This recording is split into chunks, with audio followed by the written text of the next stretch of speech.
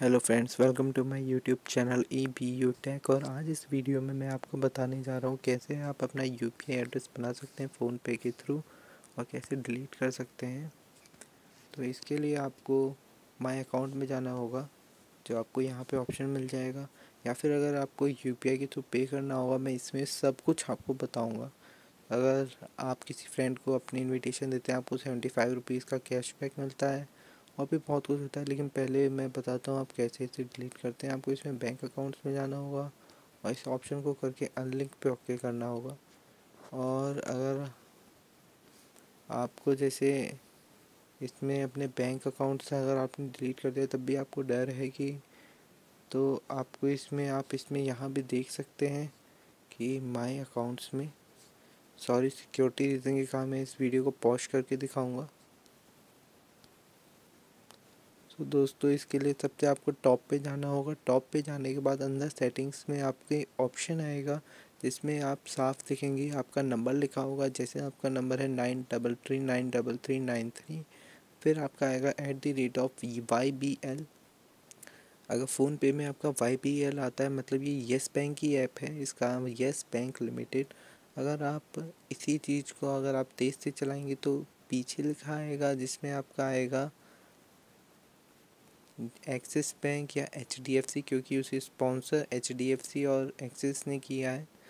और यही नहीं, आपके हर एक फ़ोन का यू पी आई एड्रेस अलग होता है, लेकिन आप किसी के भी थ्रू यू का कर सकते हैं, चाहे आप भीम ऐप हो या कुछ भी, आपको bus Q R code scan करना होगा या फिर अपने पॉस को कनेक्ट करना होगा, जिससे आपके डिवाइस कनेक्ट होते हैं, जिससे आपका शेयर इट काम करता है। तो ये हर एक एंड्रॉयड फ़ोन में काम करेगा। और इसके मैं प्रॉफिट दिखा दे रहा हूँ। लेकिन हाँ आपको मैं रिकमेंडेड करता हूँ कि आप फ़ोन पे के थ्रू बनाएँ या फिर भीम के थ्रू क्योंकि तेज़ के थ्रू ये नहीं बन सकता।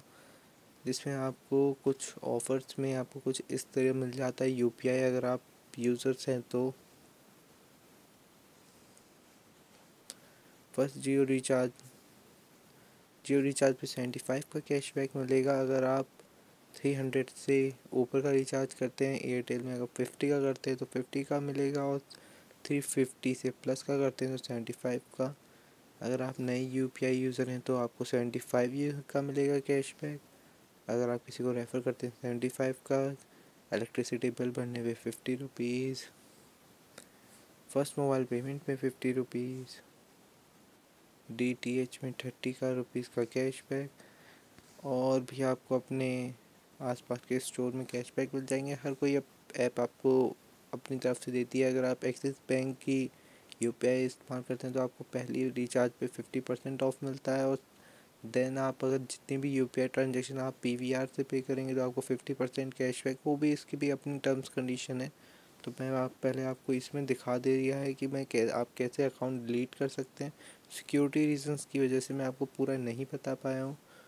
और आप यहाँ पे अगर अपनी पूरी ट्रांजेक्शन देखना चाहें तो आप ट्रांजेक्शन सेक्शन में जाके देख सकते हैं, जो आपको राइट साइड में एंड में मिलेगी।